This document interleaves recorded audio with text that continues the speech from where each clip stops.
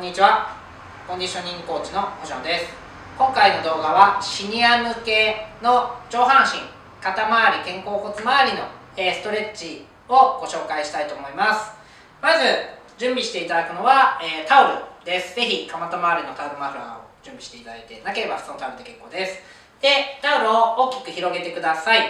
で大きく広げたら、え、それを頭の後ろから肩甲骨を寄せながら背中まで引いてくるようなストレッチをやっていきます。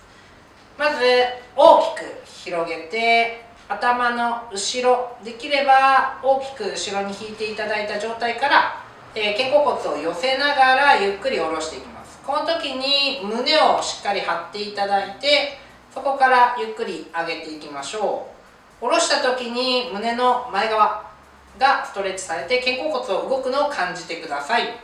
ゆっくり上げてゆっくり後ろに引いていきます。大きくいきましょう。繰り返します。本当腰を反りやすいので腰を反りすぎないように注意してください。呼吸は楽にしながら動かしていきましょう。はい結構です。では続いてのストレッチです、えー、またタオルを準備していただいて頭の上に掲げてください。そこから横に倒しながら体の外側をストレッチしていきます。肩甲骨の、えー、外側の筋肉になります。横に倒しながら逆の手はできるだけ高く上の方に伸びていってゆっくり戻していきましょう。この時に倒した時にそこに倒れないように注意してください。ぐーっと横に倒れて戻していきます。